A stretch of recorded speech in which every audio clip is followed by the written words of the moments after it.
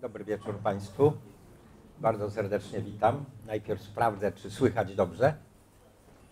To dobrze. Y, Witam bardzo serdecznie na naszym kolejnym y, spotkaniu. Dzisiaj y, gościem jest pan dr Jerzy Mycka, matematyk z Uniwersytetu Marii Curie Skłodowskiej w Lublinie. Zajmuje się zawodowo działem matematyki, powiedziałbym bardzo praktycznym, problemem obliczeniowości. Natomiast y, dzisiaj y, powie nam o y, swojej pasji. Temat dzisiejszego spotkania brzmi pojęcia matematyczne jako narzędzia średniowiecznej refleksji teologicznej, czyli o zaskakujących inspiracjach teologii współczesną matematyką. Może ja właśnie od razu zacznę od prośby o wyjaśnienie. Ja, dlaczego matematyk zajmujący się obliczalnością nagle zainteresował się tak abstrakcyjnym i wydaje się odległym od życia tematem jak teologia średniowieczna. Można siedzieć. Dziękuję bardzo za y, okazję rozmawiania z Państwem. E, teoria obliczeń mm, to jest y, stawianie pytań o to, co jest możliwe w matematyce. W matematyce pojmowanej w dość wąski sposób, w której e, pewne operacje ograniczamy, ale to jest pytanie, co jest fundamentem y, możliwego przekształcenia. No i oczywiście pojawia się to słowo fundament co się da zrobić, czego nie da się zrobić, co jest najbardziej pierwotne. To w naturalny sposób przekierowuje myśl do tego, co się nazywa podstawami matematyki, czyli rozważań związanych z teorią mnogości. Jeśli chcemy wiedzieć, co się naprawdę da obliczyć, to jakby pytanie jest, a na czym my liczymy? Czyli co jest naprawdę obiektem matematyki, co jest liczbą, y, co możemy uznać za strukturę matematyczną. No a od pytań właśnie do tego, do tego tutaj zmierzamy, od pytań tego rodzaju, które zajmują się podstawami matematyki, podstawami bardzo specyficznych bytów, bardzo mało zmysłowych bytów, jakim jest matematyka, no to już jest blisko do teologii, która też się zajmuje tym, co nie jest zmysłowe i co y, teologia próbuje wytłumaczyć i zgłębić.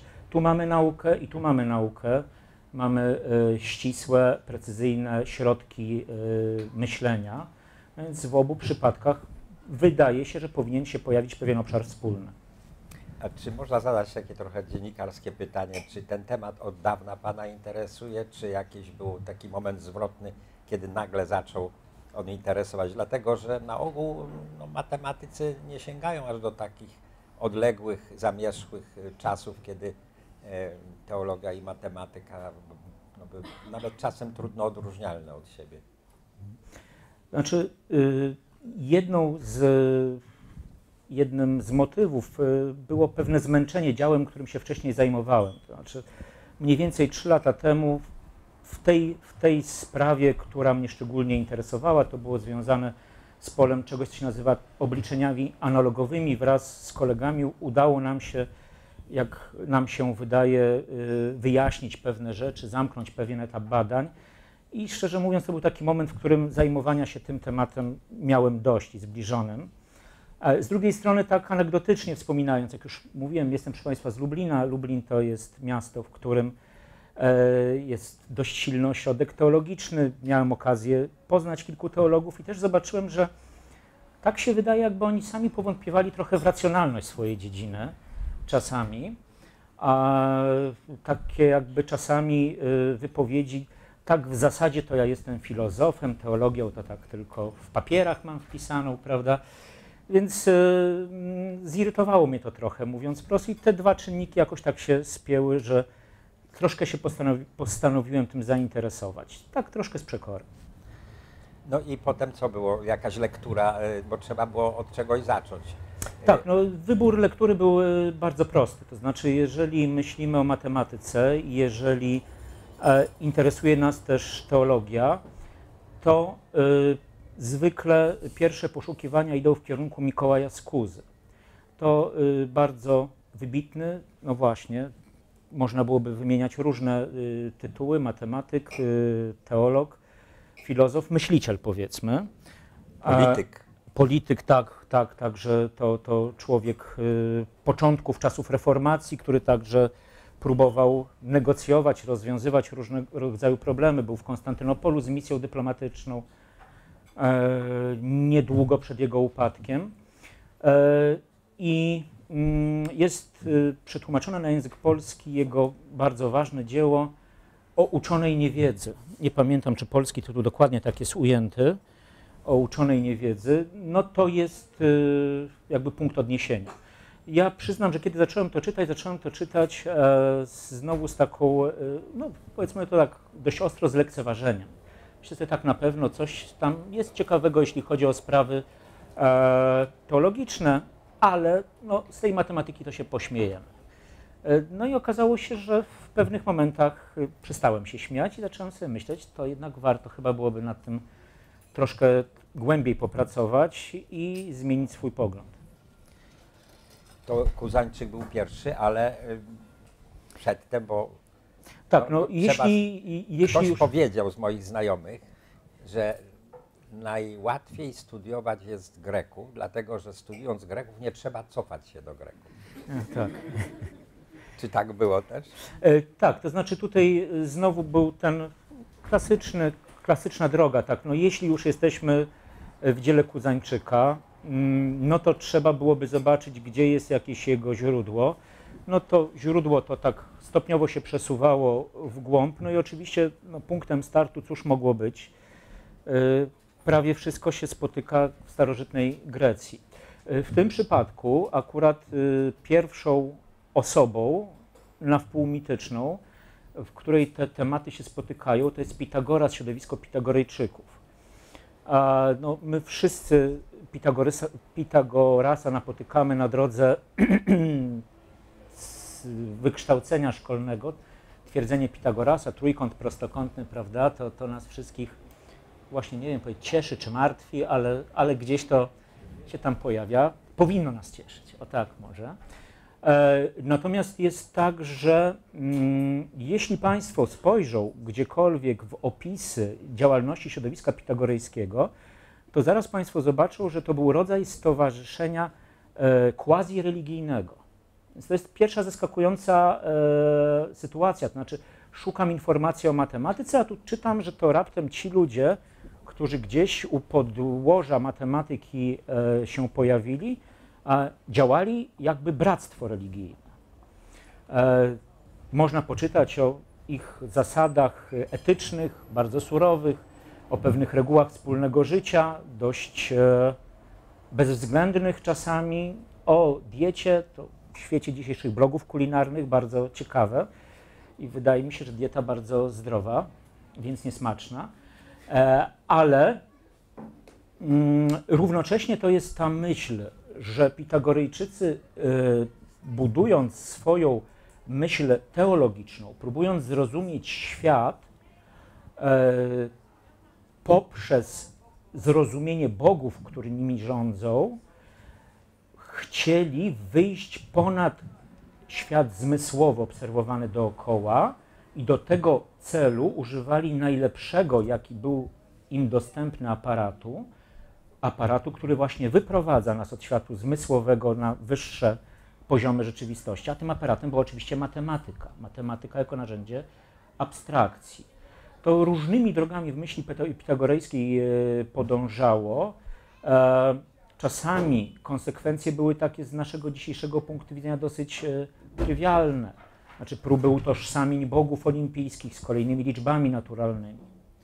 E, Ale y, sposoby dojścia, a przede wszystkim główna zasada, skoro chcemy szukać czegoś, co jest głębszym pokładem rzeczywistości, to musimy w takim razie e, wyjść poza czysto zmysłowy świat i używać refleksji, która nas przenosi ku pojęciom abstrakcji, e, a to znaczy do rozumowań, które są związane z matematyką, stała się takim czynnikiem spajającym matematykę i teologię. To byli Pitagorejczycy i jakby dalej idąc tym tropem, to dziedzictwo pitagorejskie dość silnie się później e, Ja Odznaczyło? dorzucę takie szczególnie, gdzieś wyczytałem, że któryś z późniejszych autorów starożytnych, ale kilka wieków już po Pitagorasie, napisał, że gdy Pitagoras odkrył twierdzenie Pitagorasa, y, to złożył Bogom ofiarę z wołu. Tak, takie na nim to wrażenie zrobiło. Zrobiło. Więc i- ta, ta precyzja matematyczna, że coś się da udowodnić, no to była czymś boskim dla niego. E, Częścią tego świata matematyki, e, do czego być może później jeszcze powrócimy, to też nawiązując do Pitagorasa, była także muzyka. Muzyka jako matematyka w ruchu.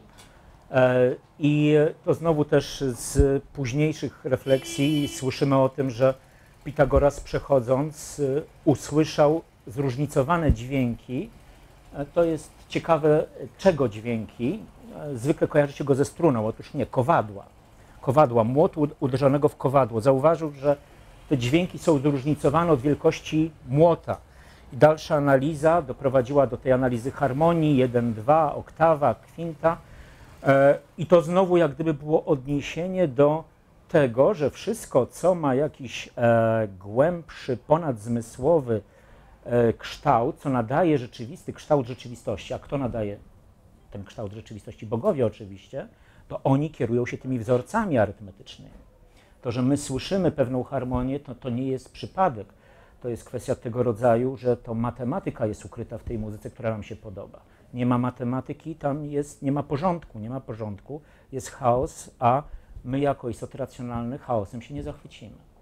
Więc ta, ta refleksja, jak mówię, była bardzo silna i ona w wersji nieco zmodyfikowanej, ale bardzo wyraźnej, odnalazła się w e, środowisku platońskim i neoplatońskim. To ta wielka No i tutaj właśnie Platon i teologia y, przypisuje się Platonowi mm, powiedzenie, że Bóg geometryzuje, czyli myśli geometrycznie. Otóż co się ciekawego okazuje, że i to już starożytni zauważyli, wszyscy to powtarzali, Bóg geometryzuje za Platonem, ale w pismach Platona nigdzie tego nie ma. I Plutarch, który był wielkim fanem Platona, zorganizował dysku, dysputę, zresztą na wzór ym, uczt platońskich. I tematem tej dyskusji było e, właśnie, czy Platon powiedział te, te, te, te zdanie. No i w dyskusji wychodzi, że nie powiedział, ale jednak e, ta, to, to powiedzenie bardzo dobrze oddaje myśl Platona. No więc dlaczego Pan Bóg geometryzuje według Platona?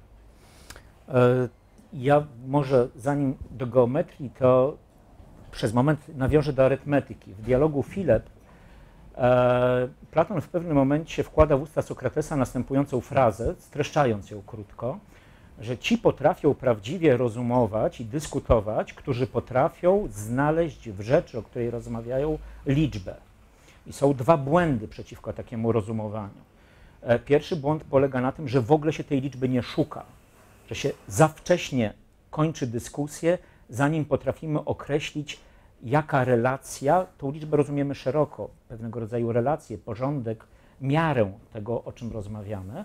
Zanim w ogóle zaczniemy o tej mierze rozmawiać, to my już kończymy rozmowę. To jest błąd pierwszy. Błąd drugi jest taki, kiedy tę rozmowę prowadzimy zbyt długo i zaczynamy przypisywać obiektowi zbyt wiele liczb, rozmywając jego tożsamość. Więc ci są prawdziwymi mędrcami, którzy wiedzą, kiedy zacząć i w którym momencie skończyć rozważania o liczbie. To jednak trzeba e, pamiętać. E, dlaczego Bóg miał, e, czy bogowie mieli geometryzować? Żeby rzeczywistość była racjonalna, to rzeczywistość musi właśnie funkcjonować w obrębie pewnego porządku, pewnego ładu. I teraz ten świat, w którym ten ład możemy odnaleźć, to jest świat nadanego kształtu, to jest świat, w którym właśnie odnajdują się prawdziwe wzorce rzeczywistości. Gdzieś tam w głowie Boga są te prawdziwe, doskonałe figury, gdzieś tam jest pełny ład, który ten ład dopiero e, w naszym świecie odczytany, bo będący u jego podstawy, pozwoli nam go zrozumieć i pozwoli nam zrozumieć Boga, który, który go tak czy, właśnie czy pojmował. Platon był Pitagorejczykiem? A no, udzielę odpowiedzi e, i tak i nie, e, bo to wszystko y, chyba zależałoby od rozumienia słowa Pitagorejczyk. To znaczy, Na pewno Platon y, szukał wielu wzorców matematycznych i w tym sensie Pitagorejczykiem był. Natomiast tak y, mechaniczne podkładanie liczb pod ideę y, to już nie był przypadek Platona i w tym sensie myślę, że można było powiedzieć, że on od tej tradycji, że on tą tradycję podniósł, przekroczył. Czy był matematykiem w ogóle? A czy był matematykiem? E, Jeśli pod słowo matematyk, właśnie, bo to, to być może jest y, no, punkt wyjścia do takiej refleksji, jeśli pod słowo matematyk podłożylibyśmy e, dzisiejszy termin, no to może byśmy się zawahali, choć też są dobre powody, żeby, e, żeby jako matematyka także Platona docenić. Mamy bryły platońskie i to rzeczywiście wiąże się z platońskim rozumowaniem, jakiego rodzaju bryły geometryczne, trójwymiarowe są odpowiednio doskonałe. A, a mamy przede wszystkim konstrukcje platońskie, czyli kons- konstrukcje prowadzone za pomocą e, linijki bez żadnej miarki, to jest ważne, linijka nie jest znaczona, i cyrklem, i cyrklem, uwaga, który też nie może przenosić odległości. Takim cyrklem greckim, to znaczy takim cyrklem, który jak się podniesie, to automatycznie się składa. E, więc e, To co chyba sznurek na, na, na jakiejś pikulcu, on się zatoczy okrąg, ale Tak, nie nie będzie się sztywno tak. Nie, nie możemy używać e, cyrkla do przenoszenia odległości. Więc te, kon, y, te konstrukcje mm, za pomocą tego schematu Platona i związany z tym problem chociażby kwadratury okręgu, czyli problem konstrukcji takiego kwadratu, którego obwód będzie równy obwodowi wcześniej narysowanego, dostępnego dla nas zadanego okręgu, no to jest dorobek Platona, który zainspirował bardzo wiele ciekawych badań matematycznych. I właśnie tutaj tego wracamy, ale Platon na to patrzył trochę z innej perspektywy, nie takiej ściśle technicznej. Ot, mamy problem matematyczny, to go rozwiążmy. Tylko tak, no, skoro to ma być problem prawdziwie matematyczny, to ma dotyczyć prawdziwie matematycznych y, bytów. Y, można byłoby używać różnych krzywików, takich konstrukcji pozwalających na rysowanie kształtów bardziej złożonych, ale to nie byłaby prawdziwa matematyka, to byłaby już taka inżynieria, to takie stosowane dziedziny, to byłby rodzaj oszustwa przeciwko czystemu umysłowi. W związku z tym, jeśli mamy prawdziwą matematykę, to prawdziwe matematyczne obiekty. Prawdziwe matematyczne obiekty to linia bez kresu i to doskonały okrąg. No więc takie spróbujmy konstruować. Także owszem, dorobek matematyczny tak, ale inne rozumienie matematyki także. No jeszcze mam takie pytanie, e, mianowicie samo słowo matematyka, skąd pochodzi? Tam słychać coś greckiego. E, No to oddaję tutaj pałeczkę księdzu profesorowi. E, Pitagorejczycy tego terminu używali. Używali go na określenie pewnej części swojej, swoich doktryn. Doktryny dzielili na zapisywane, przekazywane ustnie, dostępne wszystkim, dostępne tylko wybranym. Matemata to była ta część doktryny, która była związana z najszlachetniejszą nauką o bogach. Ta nauka o bogach była często wyrażana właśnie w terminach geometrycznych. Czyli w samej nazwie matematyka jest trochę teologii. Tak, to od razu tu jest ten początek tej historii. E, czyli Platończycy, to, to o nich żeśmy porozmawiali. E, no jakby domknięciem tej linii starożytności, e, no to już jest początek chrześcijaństwa, kolejny etap związany z matematyką i teologią. E, mamy świętego Augustyna, y, mamy Boecjusza. Obaj na różne sposoby spinali te, te dziedziny. Święty Augustyn, wychodząc od biblijnej refleksji, w której opisuje się, że Bóg stworzył wszechświat w mierze, wadze i liczbie. Pewnie kolejność mylę, ale te, te trzy czynniki tam były: liczba, miara i waga. E, Wyraźnie szukał tego, w jaki sposób jest e, Bóg, e, jaki musi być Bóg, który tego rodzaju środkami się posługuje. W pewnym momencie gdzieś pisze, że Bóg jest to liczba bez liczby, albo liczba ponad liczbą. Chodziło o to w tej wypowiedzi, że jeśli świat jest stworzony we, według pewnego wzorca, to te wzorce, będąc e, właśnie wzorcem, pełną doskonałością, muszą być czymś pozazmysłowym, czyli de facto muszą być czymś podatnym opisaniu liczbowemu, abstrakcyjnemu, na tym najwyższym poziomie abstrakcji. Ale Bóg zawierając w sobie to wszystko jest jakby poza tym światem, jest czymś, co liczby generuje, sam się z nimi, mm, nie, nie redukując się do ich poziomu. E, Dużo rozważań związanych z pewnymi relacjami pomiędzy liczbami e, u świętego Augustyna można napotkać w kontekście trinitarnym. To jest problem e, jednego Boga, trzech osób, sposobu rozróżnienia tych trzech osób, czym jest w takim razie relacja pomiędzy bytami, pojęcie jedności, równości, właśnie w tym kontekście przez świętego Augustyna było rozważane, to znaczy pojęcia arytmetyczne, jakim jest jedność, pojęcie równości, także związane z matematyką, było aplikowane do rozwiązania problemu teologicznego.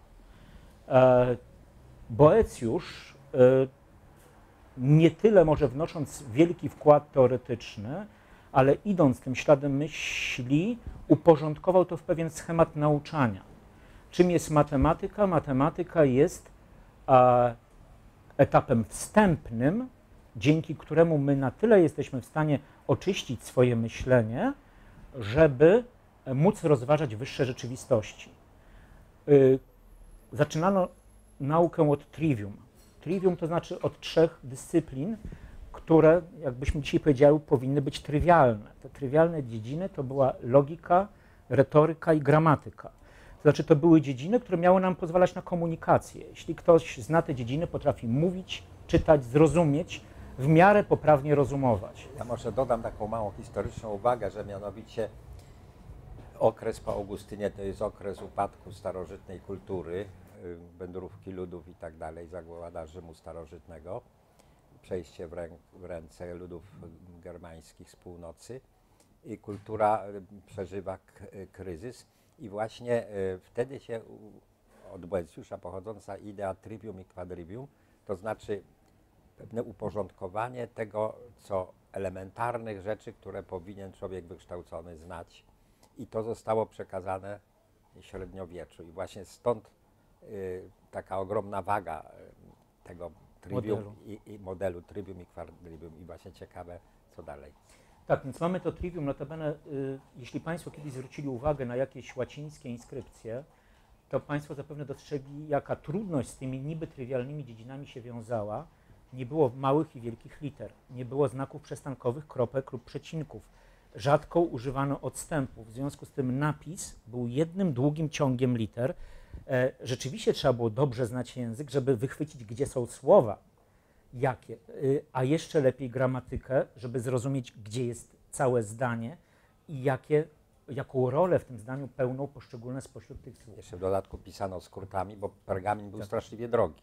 Tak jest, więc to y, nie było aż tak trywialne, jak się nam dzisiaj to wydaje. Ale po trivium przychodzi czas na quadrivium. I teraz quadrivium to są cztery dziedziny, których uczono po to, aby one były przygotowaniem do studiów filozoficzno-teologicznych. Jakby model e, kształcenia polegał na tym, żeby doprowadzić do pełnego zrozumienia świata, a pełne zrozumienie świata to jest przejście w tę rzeczywistość filozoficzno-teologiczną, bo to chodzi o to, żeby mieć zrozumienie.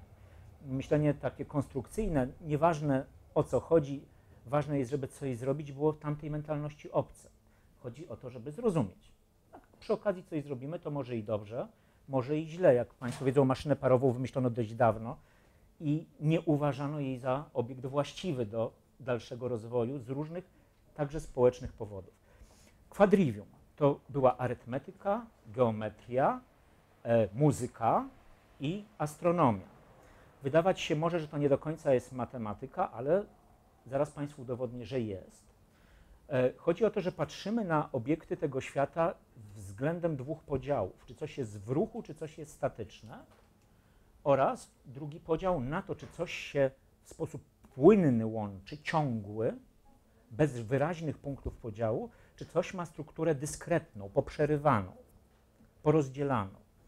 Więc jeżeli teraz weźmiemy rzeczy, które są dyskretne i nie ruszają się, to to będą liczby i dlatego mamy arytmetykę. Jeżeli weźmiemy rzeczy dyskretne, skaczące pomiędzy sobą, ale ruszające się, to mamy inny dział matematyki, którym jest muzyka. Święty Augustyn, to wracając do poprzedniego, powiedział, że no są muzycy, ci, ci, którzy rozumieją zależności pomiędzy dźwiękami i potrafią je wykorzystać, i są rzemieślnicy, którzy coś tam grają albo śpiewają. Ta druga czynność jest właściwa niewolnikom i nie należy do niej przykładać wielkiego znaczenia. To święty Augustyn tak uważał, no bo to, to jest nie ten poziom. Ale Zrozumienie muzyki to jest matematyczna czynność. Dalej mamy te płynne obiekty ciągle skonstruowane w spoczynku, to jest oczywiście geometria, linia prosta, okrąg. No i w płynny sposób obiekty się poruszające to jest astronomia. Astronomia konstruowana jako opis ruchu. Dzisiaj byśmy widzieli w tym bardziej fizykę, ale to jakby dynamika ruchu, później w matematyce bardzo ważna w rozwoju rachunku różniczkowego, e, no właśnie też tą częścią matematyki była. Więc ta spojona matematyka miała dostarczać narzędzi do właściwej analizy filozoficzno-teologicznej Cały świata. schemat trybium i quadrivium zakładał jakąś matematyczną wizję rzeczywistości. Rzeczywistości, tak, tak. A ciekawa rzecz, mianowicie takie małe uzupełnienie, że później w średniowieczu y, trybium i quadrivium nazywano sztukami wyzwolonymi. Otóż dlaczego? Mianowicie, jeżeli chłop pańszczyźniany, syn chłopa pańszczyźnianego skończył trybium i quadrivium, automatycznie by był wyzwal, wyzwalany. Doceniano, propagowano postęp wiedzy, edukację, więc to bardzo jest no, na dzisiejsze czasy demokratyczne. Sztuki wyzwolone. E, Dygresja. e, Z innych powodów, przeglądając e, kilka miesięcy temu artykuły na temat informatyki i jej znaczenia filozoficznego, nie wiem, kto to był z wielkich informatyków, wypowiedź z lat 70. e, jest taka, że no skoro informatyka tak dynamicznie się rozwija w postaci komputerów, w postaci programowania, to modelem edukacyjnym, który już niedługo się zacznie, będzie model oparty na matematyce i naukach ścisłych. Widać wyraźnie, że kierunek humanizujący w dydaktyce, w edukacji, to jest głos z początku lat 70., już się skończył. No więc jak widać, to była myśl mało prorocza i jeszcze mamy chyba kilka lat przed sobą do, do tego, żeby ten model wrócił do średniowiecza. Mamy ten model, on niesie ten model trivium, quadrivium, to matematyczną wizję świata, także w tych szczegółach teologiczno-filozoficznych. Yy, Czasy są trudne, jak Państwo wiedzą, państwa tworzą się i giną, yy, rozpoczyna się okres kształtowania polskiej państwowości, Hunowie wcześniej gdzieś tam grasują, e, ale zaczyna się ta sytuacja stabilizować, może ta nauka wchodzić na etap wyższy niż tylko przetrwania. I pojawia się wtedy postać takiego Teodoryka z Chartres, który w XII wieku raptem rozpoczyna e, pisanie traktatów teologicznych, znowu odwołujących się do tych idei e, matematycznych. On znowu pisze o tej równości. On znowu przywołuje pojęcia jedności jako pojęcia naczelnego, z jednej strony trzymając tą jedność jako coś teologicznego, ale z drugiej strony mówiąc, to jest ta jedynka. Jak ja o niej będę mówił, to pamiętajcie o tej jedynce i zastanawiajcie się, co można z jedynką zrobić. Teodoryk z Chartres.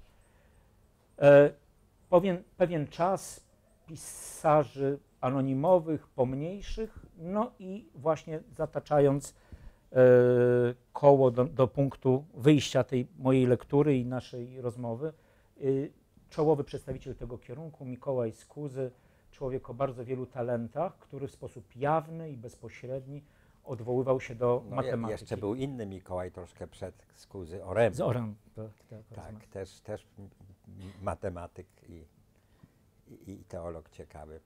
Y, No i chyba trzeba wspomnieć o pewnej kontynuacji Trivium i Quadrivium, mianowicie powstanie uniwersytetów i tam rola e, i teologii, i nauk.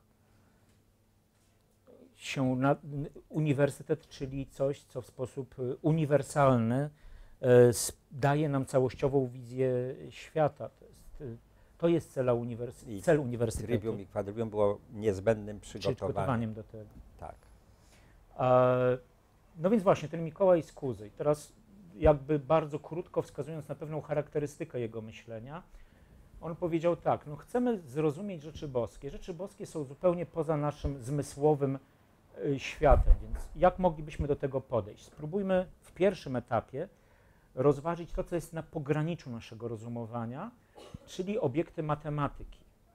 To one mają jeszcze prawie zmysłowe reprezentacje, możemy sobie wyrysować jakiś rysunek, próbować to zrozumieć, ale tak naprawdę rozumowanie dotyczące obiektów geometrycznych jest już poza światem zmysłowym. Więc pierwszy etap narysujmy i pomyślmy. Drugi etap przejdźmy od zwykłych figur geometrycznych do figur powiedzmy uogólnionych, nieskończonych, takich, które w istotny sposób zawierają w sobie nieskończoność. Wtedy będziemy mieli już bliższą drogę ku tym rzeczywistościom całkiem boskim. Etap trzeci, tą nieskończoność, którą najpierw pojmowaliśmy liczbowo, po prostu przechodźmy, rozszerzając się, roz, powiększając swój obszar y, tej figury geometrycznej. Teraz z tą nieskończonością przejdźmy do absolutu. Spróbujmy ją ująć w sposób maksymalny, możliwy, i wtedy będziemy na pograniczu tej rzeczywistości boskiej. Ja może podam krótki przykład, jak jedno z takich rozumowań przebiegało. Chcielibyśmy troszkę więcej zrozumieć o, nau o, o, naturze Bożej, boskiej. Więc spójrzmy na to tak. No w geometrii możemy narysować sobie okrąg. On może być mniejszy, większy. Jak go tak całkiem pomniejszymy, to w gruncie rzeczy ten okrąg przy promieniu 0 będzie punktem. Coś okręgi mają wspólnego z punktem w przypadku skrajni. Ale powiększając okrąg, będziemy mieli figury o coraz mniejszej krzywiźnie. No i to jest świat naszych obserwacji geometrycznych. Kropka. Teraz etap drugi. No to teraz wyobraźmy sobie okrąg, który powiększyliśmy nieskończenie. Wyobraźmy sobie okrąg o nieskończonym promieniu. Ta krzywizna maleje proporcjonalnie do wzrostu promienia. Jeżeli promień się powiększy do nieskończoności, to okrąg, który będzie nieskończony, w ogóle nie będzie miał krzywizny. No a co to jest za figura geometryczna, która nie ma krzywizny? To jest prosta. Więc odkrywamy w tym momencie, że w tej geometrii nieskończonej okręgi to są proste. To zresztą dygresja nie jest, myśl, e, nieortodoksyjna w sensie matematycznym. E, mamy dział geometrii, w którym naczelnym pojęciem jest przekształcenie Mebiusa. Przekształcenie Mebiusa utożsamia y, okręgi z prostymi. Całkiem nowoczesna idea y, wieku XIX i XX. Ten Mebius od wstęgi Mebiusa y, proponował właśnie taką geometrię, w której okręgi i, y, i proste się utożsamiały. Więc mamy ten etap drugi. To znaczy doszliśmy już do tego, że taki nieskończony okrąg to jest tak naprawdę prosta. To teraz połączmy to, przechodząc do absolutnej nieskończoności. W absolutnej nieskończoności mamy ten paradygmat okręgu, którym jest punkt, który musi być tym samym, czym jest prosta. Co to w takim razie znaczy? To, co jest prawdziwie nieskończone, bo prosta biegnie od nieskończoności do nieskończoności, jest również czymś, co jest absolutnie proste. Wniosek teologiczny: Bóg, chociaż jest nieskończony, albo nawet inaczej, ponieważ jest nieskończony, musi być istotą absolutnie prostą, w której nie można wydzielić żadnych części. Prawda? I to jest przykład użycia aparatu matematycznego, tak jak to robił y, Mikołaj Kuzańczyk w rozumowaniu teologicznym. A ciekawe, jak, z jaką spotkał się on reakcją ze strony innych teologów czy władz kościelnych. Czy coś na ten temat wiadomo? Jeśli chodzi o władze kościelne, nie wiem, żeby spotkała go jakakolwiek e, reakcja. Spotkała, bo, Spotkała. bo został kardynałem. Tak, znaczy to nie wiem, czy to była konsekwencja jego dzieł naukowych, ale w każdym razie był osobą na pewno dobrze widzianą Tak. e, w, w świecie hierarchii kościelnej. Jeżeli chodzi o świat teologii, to chyba były myśli, znaczy na pewno to były myśli przyjmowane dość chłodno. One były przyjmowane chłodno z dwóch y, powodów. Jeden to był bardzo trywialny, to znaczy Mikołaj Skuzo operował pewnym aparatem matematycznym dla teologa tamtych czasów y, trudnym.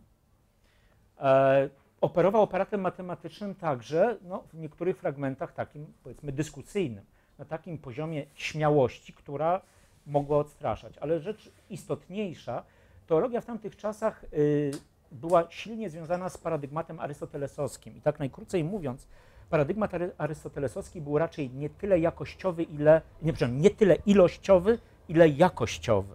W związku z tym rozumowania matematyczne, jakość związane z pojęciem wielkości i miary, w tej mm, powszechnie y, dominującej y, gałęzi teologii, takiej właśnie jakościowej, nie bardzo się odnajdowały, więc ta myśl była chyba po prostu ignorowana. Przede wszystkim. Y, Ja myślę, że pora jest, żebyśmy troszkę przerwali dyskusję i zapytali Państwo o jakieś uwagi czy pytania. Bardzo proszę, czy są jakieś? Jak nie, to kontynuujemy dalej.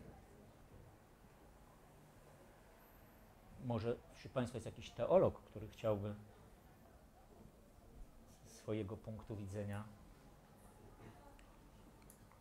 Y, To w takim razie może ja zadam kolejne pytanie, mianowicie jak Pan wspomniał na początku, dzisiejsi teologowie raczej czują respekt w stosunku y, do matematyki i ta linia teologizowania w oparciu o matematykę jakoś chyba wypaliła się.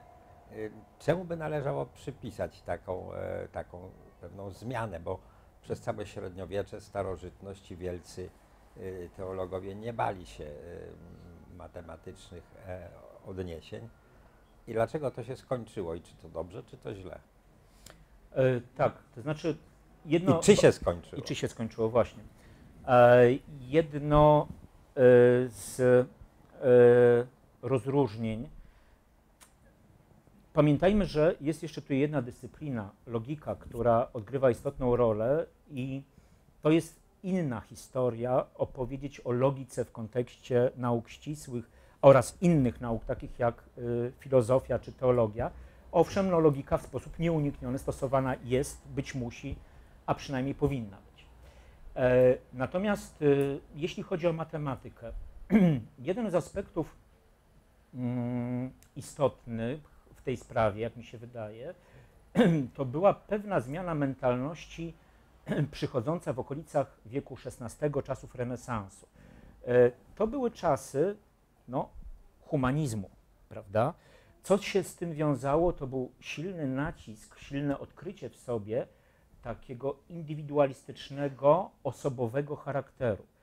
E, W teologii ten wątek zawsze istniał, ale wtedy zaczynał się stawać także jakoś bardzo dominujący. To znaczy, o czym my rozmawiamy w teologii chrześcijańskiej? Rozmawiamy przede wszystkim o historii zbawienia. E, W czym to zbawienie się wyraża? We wcieleniu, proszę Państwa. Czyli jaki jest nasz główny punkt odniesienia do Boga? Poprzez pośrednika, który stał się człowiekiem. W tym momencie, jeżeli po tej linii rozumowania idziemy, nie ma żadnej potrzeby, a nawet wydaje się, że jest rzeczą dość spychającą na bok, wejście w świat rozważań matematycznych. Jeśli my próbujemy konstruować jakąś drogę naszej e, wizji teologicznej, e, korzystając z teologii naturalnej, korzystając z analizy świata, myśląc sobie, że chcielibyśmy zrozumieć naturę Boga, a może uzasadnić Jego is- istnienie ze struktury wszechświata, z pewnych własności, wtedy szukamy takich obiektywizujących relacji, których opis matematyczny jest kuszący i, jak się wydaje, bardzo na miejscu. Jeśli przechodzimy w tym kierunku mm, takiego indywidualizmu, no to wtedy ta płaszczyzna staje się mało interesująca. Jak to się dzieje w dzisiejszych czasach? To znaczy od y, anegdoty zacznę. Wiem o przynajmniej jednym teologu współczesnym, który postanowił Boga zgeometryzować y, i który y, popełnił rodzaj traktatu, w którym y, wiele dotychczasowych e, problemów teologicznych zostało przedstawione w postaci właśnie diagramów graficznych.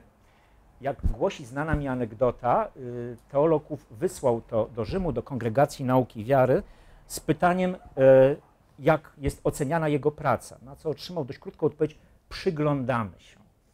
Co właśnie w kontekście jeszcze rysunkowej strony ma jakby dodatkowy aspekt. No w każdym razie przyglądanie się na razie nie zakończyło, jak widać rysunki są chyba dość piękne i można im się długo przyglądać. E, Ale mówiąc serio, ten aspekt chyba jest w tej chwili e, dość mało obecny. I on jest mało obecny z powodów e, także bardzo praktycznych. Matematyka dzisiejsza nie jest istotną częścią wykształcenia przeciętnej osoby. W związku z tym odwoływanie się do narzędzi matematycznych jest dla większości osób spoza branży niewygodne. Matematyka dzisiejsza w dużym stopniu jest wewnętrznie zainteresowana samą sobie. Stwarza sobie problemy, które sama sobie rozwiązuje, operuje swoim własnym technicznym językiem. Dla osób, które nie są w jej sercu, to jest y, mało atrakcyjne, żeby, żeby się y, z, z tym w jakiś sposób konfrontować i przenosić to na inne y, obszary. Matematyka jest trochę zamknięta, o teologii już wspomniałem, ma trochę inną perspektywę, więc tych prób na razie wiele tutaj, jak wiem, z tego co wiem, nie ma. Może ktoś zdecyduje się?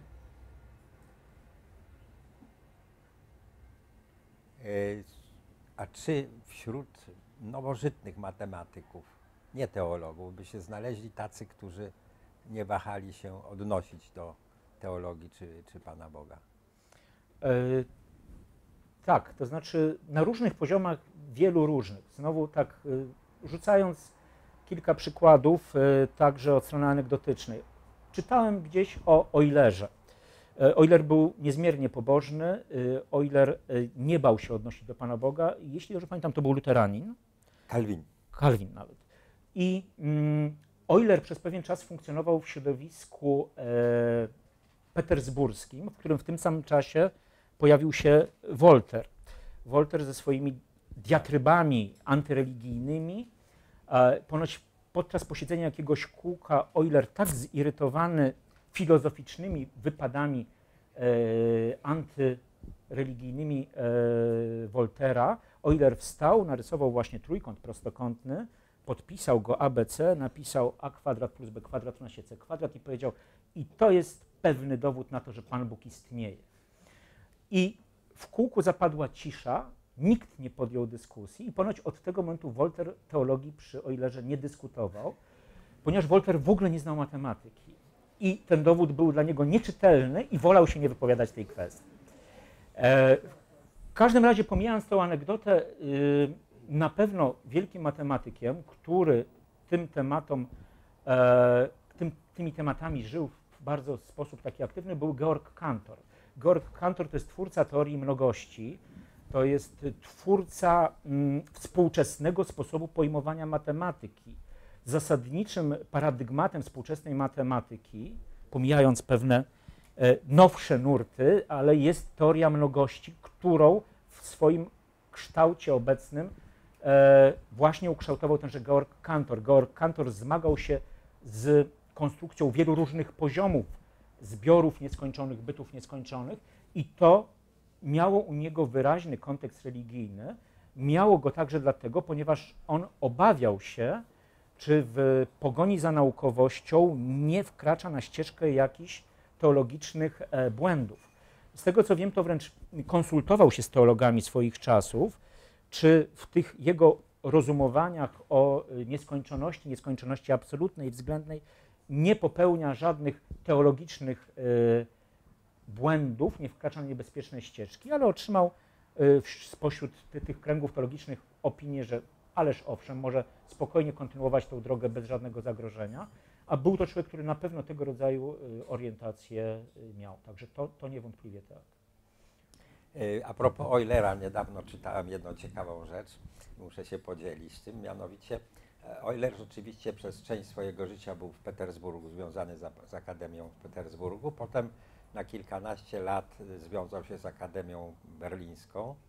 Król Fryderyk go Wielki zaprosił, do, a potem on znów wrócił do, do Petersburga. Ale no, wtedy, gdy był w e, Berlinie, e, uczył, nie bardzo wiadomo, czy z własnej inicjatywy, czy należało to do jego obowiązków jako członka Akademii, uczył e, geometrii, czytaj w ogóle matematyki, bo wtedy często używano synonimicznie nazwy geometria i matematyka.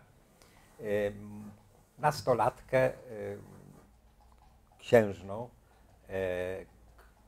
spokrewnioną z dworem panującym. Ona miała na imię Fryderyka Charlotta. I ta Fryderyka Charlotta musiała opuścić Berlin i wyjechała. I on zaczął kontynuować te lekcje z nią listownie. Człowiekiem był niezmiernie systematycznym i zawsze w soboty po południu pisał do niej jeden lub dwa listy. Każdy list to był pewien taki mały wykładzik na jakiś temat z matematyki, z geometrii, elementy mechaniki. Były też e, zagadnienia z logiki i bardzo dużo e, teologicznych. E, tych listów się uzbierało, zdaje się, coś 222 czy coś koło tego. I y, jak on wrócił do Petersburga, to caryca Katarzyna, wpadło jej to do ręki i kazała to wydać drukiem. I to się stało bestsellerem, taką książką popularno-naukową. Ciekawe, że ta Charlotta została oddana do klasztoru że i, się, i, i potem została księgi e, klasztoru w Herford w Prusach no i e, dostawała co tydzień kilka listów od, od Eulera. Mogła się bardzo dobrze wykształcić. Tam nawet elementy wzorów były, trochę mm, diagramów.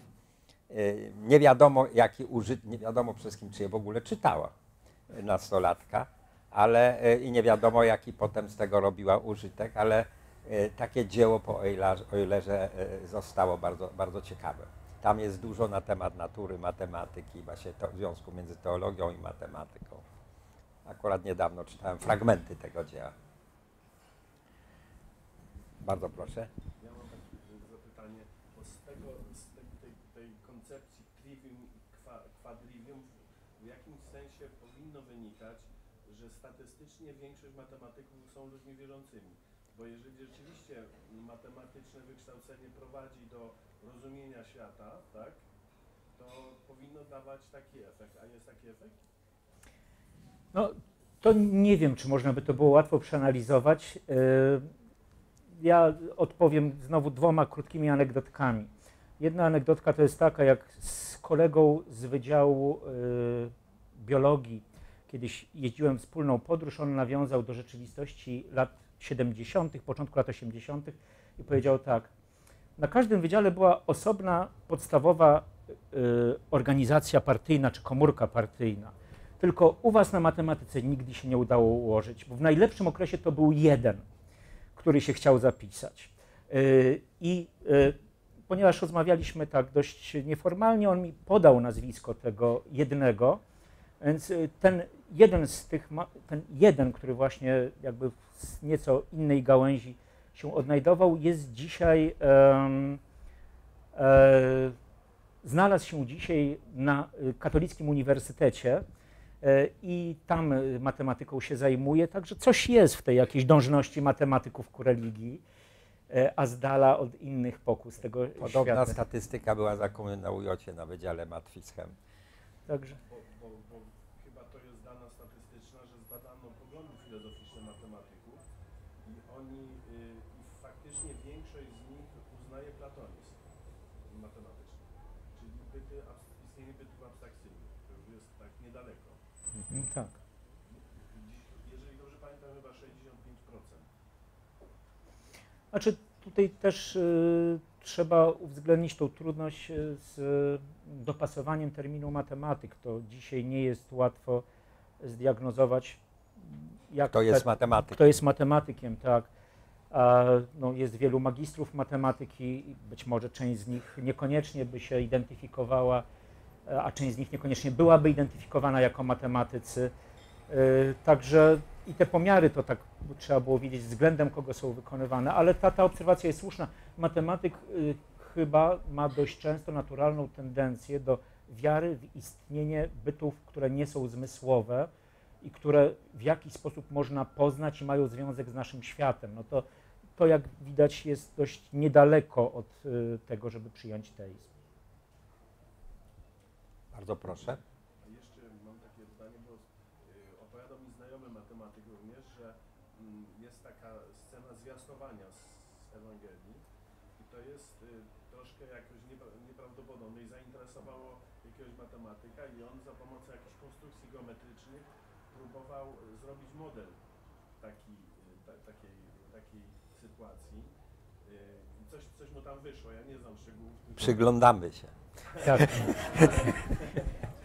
Ale chodzi o to, czy, bo to jest dość specyficzny sposób wykorzystania matematyki, zmodelowanie jakiejś, geometrycznie jakiejś konkretnej sytuacji, bo na przykład w Piśmie Świętym są takie, mm, takie opisy, które jak gdyby są sprzeczne pozornie z, z pewnymi y, znanymi prawami fizyki na przykład, albo prawami powiedzmy Znaczy to akurat argument byłby za matematyką, bo w matematyce mamy sporo, y, już może sporo przynajmniej, istnieją znane twierdzenia, które są wyraźnie sprzeczne z prawami y, fizyki. E, Twierdzenie Banacha Tarskiego o paradoksalnym podziale y, kuli, prawda, y, streszczając je krótko, jeśli rozważamy matematyczną kulę i przyjmujemy współczesną matematykę, to można ją tak pociąć na pięć części, żeby z nich stworzyć dwie kule identycznych z początkowo rozmiarów, prawda?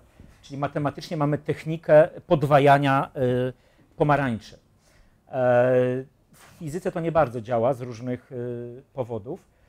Mm, Natomiast, mm, proszę Państwa, ja to sobie wyobrażam w taki sposób. Szukamy jakiegoś zrozumienia mm, rzeczywistości boskich. Y, Mówi nam o tym teologia, ale w jaki sposób nam mówi? Używając terminów, czasem technicznych, czasem języka e, codziennego. W przypadku terminów technicznych nie jest czasami łatwo dokładnie zrozumieć sposób ich użycia i znaczenia. W przypadku terminów języka potocznego to czasem służy jako metafora, a czasem znowu kryje się za tym inne od potocznego znaczenia. To znaczy, że język teologii tak czy owak jest językiem w dużym stopniu technicznym i symbolicznym. I, I rozumienie tego, co teologia nam niesie, w dużym stopniu musi się wiązać i tak z wyjściem poza odczytanie takie literalne, powierzchowne. No to jest pytanie, czy nie skorzystalibyśmy, z, te, nie skorzystalibyśmy coś na tym, gdyby przynajmniej część tego opisu była prowadzona w innym języku, poniekąd uzupełniającym, w języku powiązanym z matematyką. On może być trudny, ale to jest tylko złudzenie, że obecny język teologii jest łatwy. No my tu popełniliśmy jedno zaniedbanie, mianowicie już prawie godzinę dyskutujemy o teologii i matematyce i nie poruszyliśmy pojęcia, które aż się prosi, żeby e, w tej, w tej dyskusji się pojawiło, mianowicie pojęcie nieskończoności. Y, No właśnie, to znaczy. I to tutaj też do Greków by trzeba sięgnąć.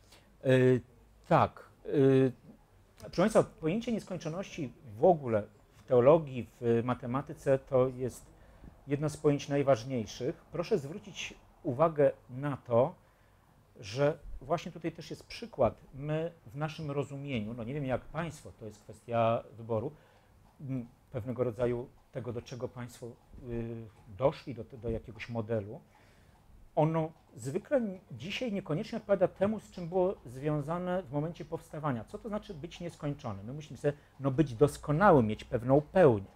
Nie, być nieskończonym to znaczy, że coś się jeszcze nie skończyło. To znaczy, że raczej to jest coś słabszego, by się mogło na początku wydawać. Był pewnego rodzaju opór wobec pewnej części rozumowań związanych z nieskończonością, bo jak można roz, rozumować o czymś, co jeszcze nie jest tym, czym być powinno, jeszcze jest to ku konstrukcji, jeszcze nie jest skończone.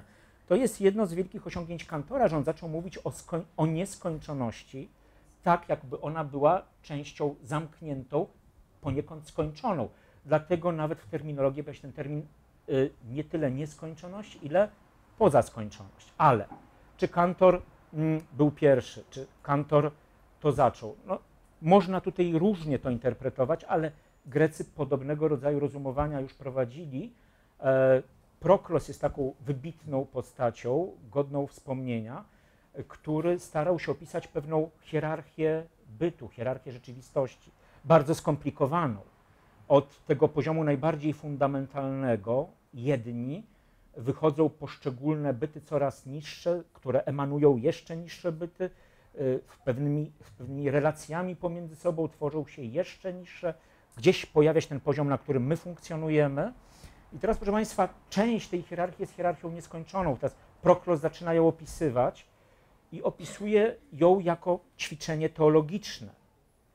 On mówi, ta nieskończoność, która jest czymś pierwotnym, ta jednia, jest zupełnie innego rodzaju niż te nieskończoności niższe, bo te nieskończoności niższe wszystkie mają w niej udział, a ona wykracza poza nie wszystkie i nie może być w żaden sposób objęta.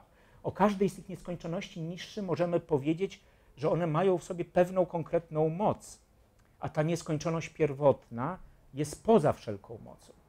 Więc czytając tego rodzaju frazy, przychodzi dla osób związanych z teorią mnogości od razu skojarzenie ze współczesną teorią zbiorów. Każdy zbiór ma swoją moc. Mówimy o liczbach kardynalnych, które są szczególnego rodzaju miarą zbiorów nieskończonych. Ale jeśli weźmiemy całość, jeżeli weźmiemy wszystkie zbiory, to właśnie ta kolekcja swojej mocy nie ma. Nie w tym sensie, że jest słaba, w tym sensie, że nie istnieje coś, co by mogło ją zmierzyć. Jest poza mocą, ponad mocą. Y, Więc jak się okazuje, ta nieskończoność i odwołanie do boskości znowu w kontekście matematycznym się silnie osadza i widać jakby analogię tych ścieżek do tego, do czego dochodzono idąc po drodze teologii i do tego, co konstruowano w obrębie drogi matematyki. Już dyskutujemy prawie godzinę o teologii i teraz nieskończoności. Myślę, że powoli trzeba kończyć, ale jeśli jeszcze by były jakieś szybkie pytania, to bardzo proszę, bardzo proszę. Bardziej ogólne pytanie, jakie się pojawiały krytyki odnośnie wykorzystywania matematyki w teologii? Bo na razie mówimy o o tych pozytywnych stronach, pozytywnych o głosach, które nie były krytyczne, ale z drugą stroną się jakieś opinie wśród matematyków, wśród teologów się pojawiały, a że takim dlaczego? W teologii czy ze strony matematyków? Jeśli chodzi o stronę teologii, to y, część y, tej krytyki, y, zwłaszcza silna ze strony teologii y, związanej z reformą, z ruchem protestanckim, y, polegała na tym, że celem teologii jest mocne prowadzenie ku osobistemu związkowi e, wierzącego z Bogiem.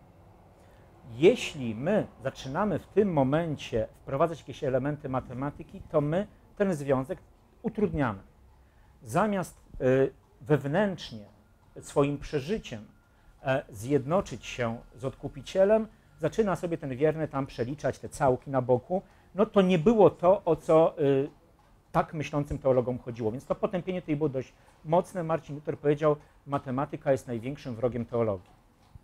Tego mniej więcej znaczenia się trzymałem. Marcin Luther, tak. E, Z punktu widzenia matematyków, być może ta ścieżka była trochę inna. Proszę Państwa, e, XIX wiek to jest moment, w którym bardzo wiele rzeczy w matematyce uporządkowano. E, Z wielka praca Kosziego, e, wiele pojęć, które wcześniej były używane w sposób intuicyjny, nie do końca jasny, zaczęło być systematyzowanych, porządkowanych, segregowanych. E, Euler absolutny geniusz, nader często używał pojęć w sposób, który dzisiaj byłby y, nie do przyjęcia. Y, I teraz to jest kwestia tego rodzaju, że w momencie, kiedy matematyka wzniosła się na ten poziom świadomości, to spojrzenie na takie dzieła Mikołaja Skuzy, na tym pierwszym etapie naszej dumy z tego rygoru, który posiadamy, to były, ale cóż on tam pisał? Przecież to jest no, nieścisłe, nieprecyzyjne, e, wątpliwe. No nie, nie, tym my jako matematycy się teraz zajmować nie będziemy. To jakby jest ta linia, która tutaj w drugą funkcjonuje. Ale tu mam taką małą wątpliwość. XIX wiek jest rzeczywiście wiekiem porządkowania, aksjomatyzacji i tak dalej. No ale potem przychodzi początek y, XX wieku, prace Russella, Whiteheada, y, Hilberta, cały problem matematyki, pojawia się Gödel i różne twierdzenia limitacyjne i to, co uporządkowano, nagle zaczyna się robić znowuż bałaganem. Jak to wygląda tej chwili? E, Z, punk- z punktu widzenia naszego tematu dzisiejszego. Więc jak Państwo wiedzą, rzeczywiście początek XX wieku, połowa XX wieku e, to był stan pewnego kryzysu matematycznego, nie w sensie braku wyników, tylko w sensie samozrozumienia. Jak wygląda sytuacja dzisiaj? Myślę, że tak, w części ona wygląda tak, że a część środowiska zajęta techniczną pracą stara się nie zwracać uwagi na te dyskusje, które się dookoła fundamentów toczą.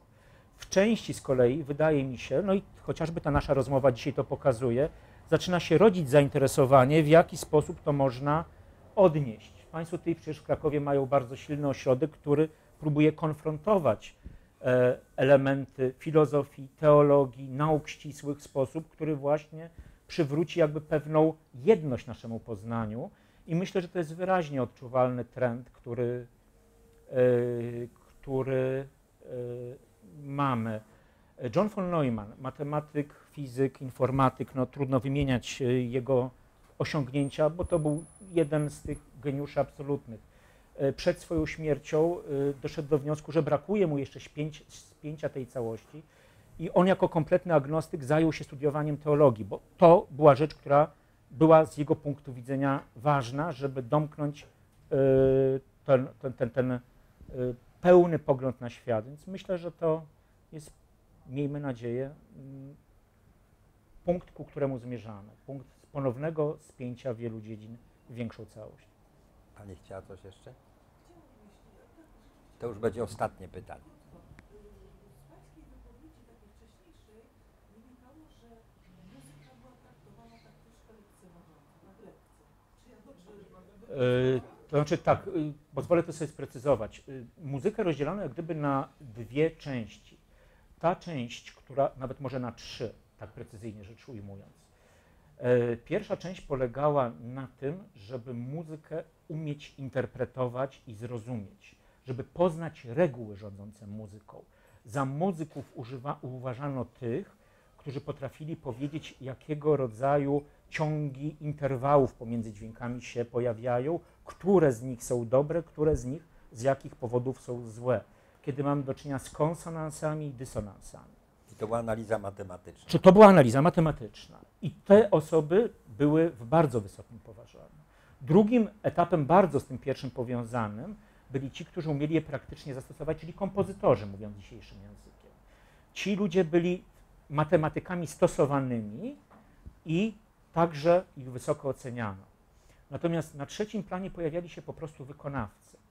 I teraz znowu w tej takiej obiektywizującej świadomości, y, w tym sposobie myślenia. No czy to jest ważne, kto to wykona? To piękno jest wbudowane w tą muzykę, prawda? Czy to jest ta osoba, czy inna, byleby on tam to mniej więcej poprawnie wykonał.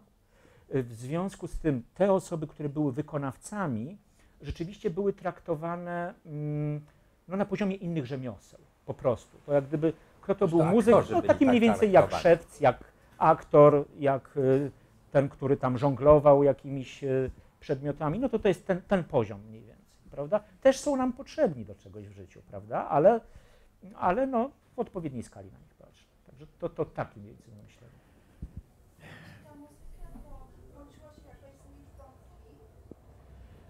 E, Nie sądzę, żeby w tamtych czasach, dlatego, bo wówczas y, muzykę odczytywano przede wszystkim poprzez relacje pomiędzy liczbami naturalnymi. Proporcje. proporcje tych liczb naturalnych, tak y, jak gdyby dzisiejsza teoria ułamków w pewnym sensie i y, opisy, z których ułamków można skonstruować inne ułamki. Jeśli to jest prosta metoda konstrukcji, to to, co otrzymamy, czyli pewien interwał, skok pomiędzy dźwiękami albo współbrzmienie dwóch dźwięków jest dobre.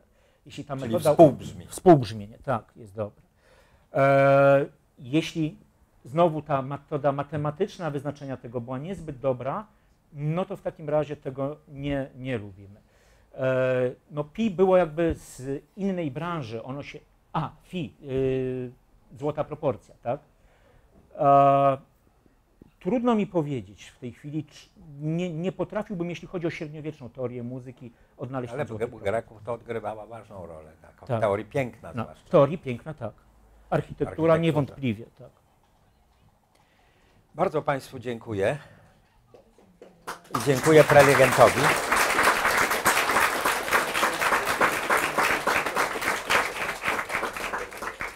Może będziemy teraz o matematyce, jak usłyszymy gdzieś, jak się na maturze męczą, myśleli troszkę bardziej wzniośle.